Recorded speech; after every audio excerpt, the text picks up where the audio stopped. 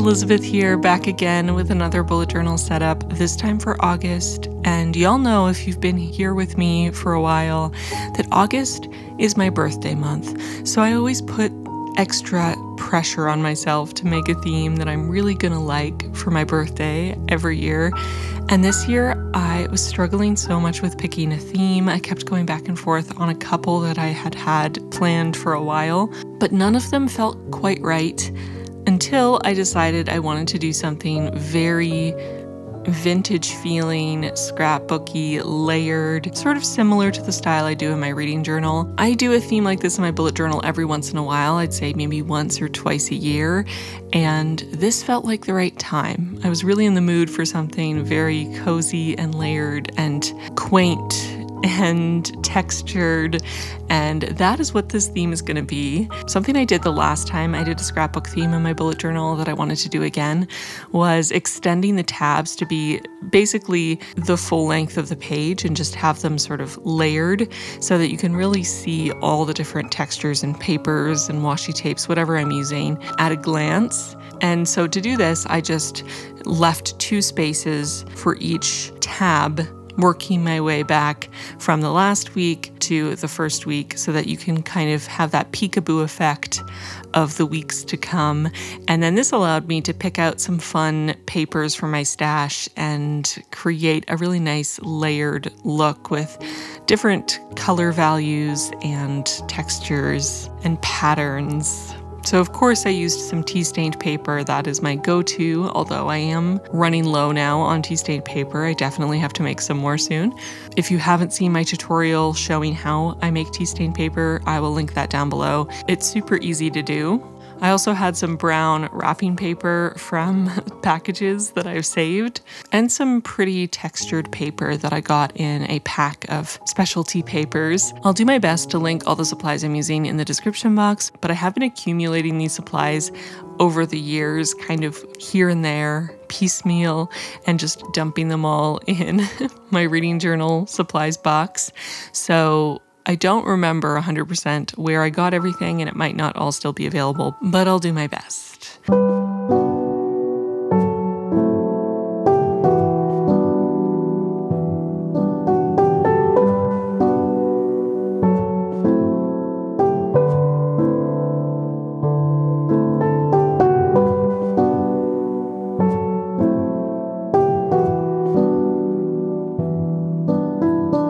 I'm finishing off my tabs by using my handy dandy corner rounding cutter tool to make these corners perfectly round to match the curve of the actual pages of my notebook. I feel like this is such a perfect way to finish these off. It's a really beautiful finishing touch. It looks very professional. And it's also way faster than me cutting it myself and a lot more consistent. I feel like a corner cutter is such a novelty product that not everyone needs, but I have actually found it very handy since I've purchased it. I don't use it often, but when I do use it, I am reminded yet again how happy I am that I spent the seven bucks or whatever it was to get my corner cutter.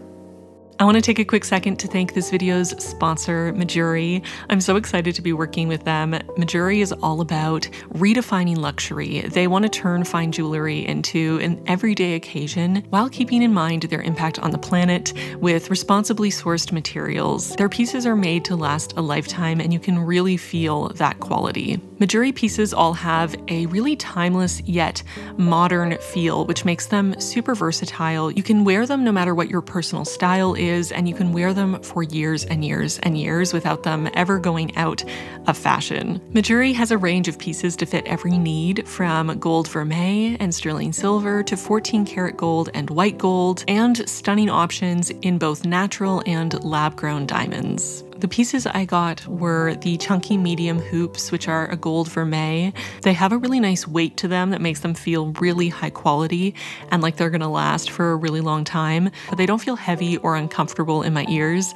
I'm a huge huggy fan. I love that there's nothing digging into my head when I wear this style of earring, and these ones have just a little bit more of a punch to them. They're a little bit more of a statement earring because of that thickness without being over the top. I feel like I could wear these with literally any outfit and they would look amazing. I also picked out the gorgeous diamond necklace. This is 14 karat gold with a natural diamond in the center.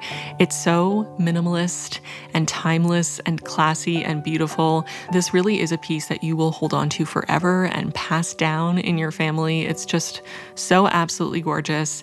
But again, it's done in such a beautiful, minimalist, timeless way that it could be worn on a day to day basis without feeling like it was too dressy or over the top, but you could also wear it with an evening gown without looking out of place. The last piece I picked was this gorgeous hue necklace. This is also 14 karat gold with white topaz, and I love the asymmetry of this. The two little triangles that are slightly offset and not quite the same size. I just find them so beautiful, and there's a little bit of whimsy to this one, which is quite nice. And it's very delicate, very beautiful, and it's simple enough that you could wear it just going to the grocery store if you wanted to. But again, it has that elevated, really elegant look that could make it appropriate to wear to a wedding or something. I'm so happy with these pieces. I just find them absolutely gorgeous and I can't wait to incorporate them into my style on a day to day basis. They're also really great for mixing and matching or layering, which is something I love to do. I initially picked out these two necklaces to wear separately, but they look so pretty layered together, just adding that little bit more detail. And I love that I have so many options to create unique combinations that can suit my mood from day to day. And I just know I'm gonna love wearing these for years and years and years to come. They're gonna be with me through some pretty special moments. I'm just so happy to be working with Mejuri on this video. If you wanna check them out, make sure to click the link in my description box or use the QR code on the screen. Thank you again to Mejuri for sponsoring this video. And now let's get back into setting up my bullet journal for August. So now that my base is sorted out and I have my tabs cut, it's time to start on the cover page. And I knew I wanted this to be very layered, lots of color and texture and different materials, and just feel very cozy, but also summery. So I wanted to start with this paper. This is a really beautiful textured paper with dried flowers that have been pressed into it. And I really loved this blue and gold flower. I thought it was really beautiful in and of itself, but also that it contrasted the really warm tones of all the papers I was using and planning on using it really nicely. I actually ended up going for a lot of blues and purples for the accents in this theme, which y'all will know as well if you've been here for a while that those are not my go to colors. But because I had so much warmth already with all of these papers and the background, it felt really nice to have a little bit of a contrast of some cooler colors with the greens and the blues and the purples. So I'm really happy with how it all works together and kind of balances things out. My process for building scrapbooky type spreads is really just to pull out a bunch of different supplies that I think might work and play around with layering different ones together, trying different layouts, trying different options until something catches my eye or feels right somehow. I can't really describe it any other way. It's just kind of tossing things together until it looks right, you know? And I feel like the hardest part of it for me is knowing when to stop because I think it is too easy for me to keep going, keep adding more and more and more, and then realize that maybe I went one or two layers too far and there's no going back. So this time I was really trying to take it slow and pause a lot and take a step back, take a look from a different vantage point, and really try to determine if I could be done. or if it was missing something. Once I had the basic composition of my cover page done, I knew some of the larger elements I wanted to incorporate. I just started adding little details here and there, little stickers, little bits of washi tape, just adding more color and texture and pattern wherever I felt it was needed. And again, I don't really know how to describe how I do this. I just do. And you know what? I am really happy with how the cover page turned out. I feel like I stopped at the right time. It's definitely busy, but that's what I wanted. That is what I am going for often when I go for a scrapbooky feel. I want it to be very layered and sort of cozily cluttered. But I don't think I went too far. I feel like it's nicely balanced. There's still some negative space. I feel good about it.